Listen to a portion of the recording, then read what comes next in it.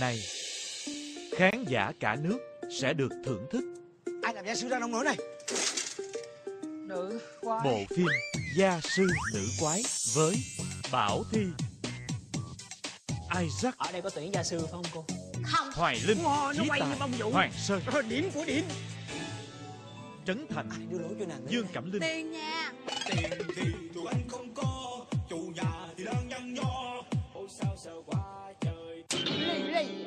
nó đừng có la rồi mà cái miệng bả bả đãi hoài. Ba con nói là gì? Anh không có chủ nhà thì đang nhăn nho ôi sao sợ quá Con không muốn suốt ngày là một đứa con gái yếu ớt Đi đâu cũng phải có người bảo vệ. Có dao không?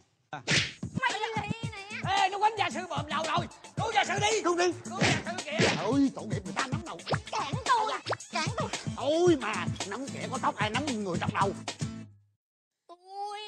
cho ba tôi biết là ba tôi Ông ông cạo nhà thầy luôn á. Không được tới cô. Dính đi. Thấy mày nè chị quái phương nào?